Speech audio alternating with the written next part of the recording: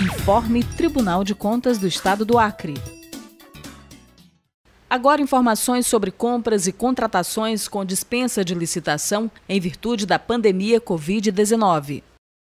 A Lei 13.979, é, publicada recentemente, ela trouxe uma modalidade de aquisição, de contratação, de dispensa de licitação, traçando alguns requisitos especiais para aquisição é, de material, de bens e serviços, inclusive serviços de engenharia, no período da pandemia Covid-19.